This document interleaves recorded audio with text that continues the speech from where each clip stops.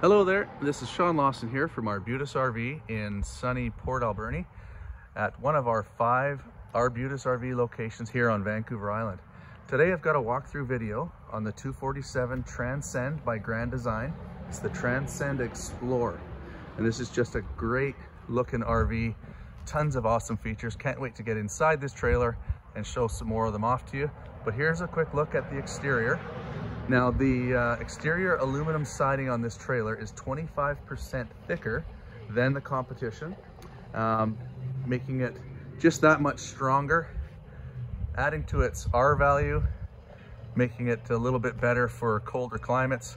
There's also an enclosed underbelly, astrofoil running from the front cap all the way through to the uh, over the roof and down the back wall. Fiberglass insulation with wood framing, very well put together. They use what they call quad seals. So there's heavy duty seals at all the major corners and sides of this trailer. And uh, just tons of, of great things to talk about on these, these products. Nice looking trailer as well. There's the interior of the front storage. Around the other side, which we'll get to here, um, is where you will find all of your water, battery disconnect, cable, and all that sort of stuff in one spot. And there's a little pass through for your cords and hoses there as well. You've got solar prep as well, right on the side. Uh, this has also got a propane hookup. So you can connect a barbecue, a lamp, fire pit, whatever you have as an outdoor appliance that needs propane and it will run off of your front propane tanks. 220 pounders up front there. Gonna head up the aluminum steps and get inside. Again, this is a 247 model. It's a non-slide trailer, but is really, really nice and open. Quite a large open floor plan for something without a slide. Awesome looking live edge table there that folds down into a bed as well. You've got some cabinets next to your TV there. The TV will pop out and swivel and you can lounge on your couch straight across from it. That couch folds into a bed as well. We'll get that down in just a moment to show you. You've got windows at both levels, lights as well. Teddy bear mattresses, very soft and cozy mattresses. Love how they angle the cabinets there. So they just put it away, put them out of the way a little bit for the people sitting at the couch, not feeling like you're right below a big bank of cabinets when you're sitting there. A couple of hooks for hanging towels. Awesome shower surround. Venting in there as well, so your furnace is plumbed in. You've got linen storage up the side.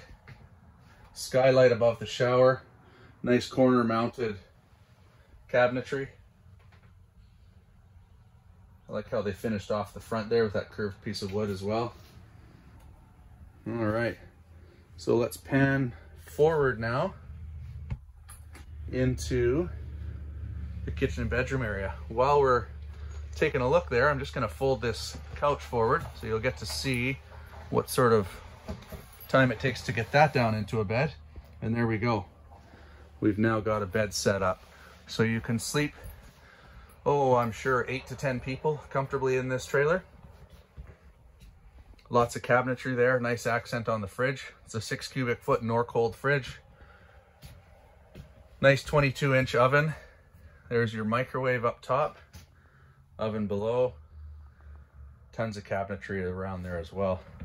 Let's take a quick shot here at some shoe storage, hats, gloves, all that kind of stuff can go right there cutlery as well because you're right next to your kitchen. Got a stainless steel sink with a nice residential looking faucet. A little bit of room there as well to put your, your soaps and scrub brushes and that sort of thing. Light switch on the wall, some more hangers there. You've got a sliding door here that slides the bedroom area closed. Storage below those closet hanging areas there, power outlets. You've got USB outlets as well. on the one side here. And uh, this bed actually lifts up too, so you can store quite a bit of stuff in there. Um, with the front cap here on this trailer, uh, not being laid really aggressively low, uh, the interior of it uh, sits in a position that you could actually sit up nicely with some pillows behind your back and read a book. Some room at the end of the bed there as well for getting around. Quite a bit actually, so you can walk around this comfortably. None of the venting for your furnace is on the floor, so you're not going to be tracking dirt into your vents and then blowing them up into the trailer when you turn your furnace on. Tons of great features. This is a lightweight trailer, half ton towable. Love the live edge. And as always, five nights, four days at Pacific Playgrounds, compliments of Arbutus RV with every purchase. So this has been the Grand Design Imagine Explore 247. Hope you enjoyed this video. If you'd like more information, please give us a call. Have a wonderful day.